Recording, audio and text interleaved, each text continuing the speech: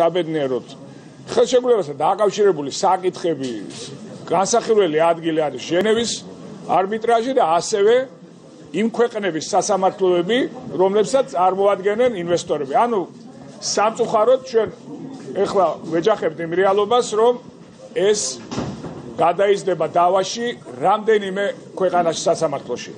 შესაბამისად, იქ ჩვენ მივიღებთ ობიექტურ გადაწყვეტილებებს, მაგრამ პრობლემა ის არის, რომ ეს აჩერებს თვითონ. პროექტის განვითარებას, პრობლემა ის არის, რომ ამ პროექტი უკვე გამორიცხულია, რომ უახლეს პერიოდში, უახლეს პერიოდში ინვესტორი დაინტერესდეს, იმიტომ რომ ასეთ სადავო პროექტით არავინ არ ინტერესდება, ეს არის სწორედ ამოცანა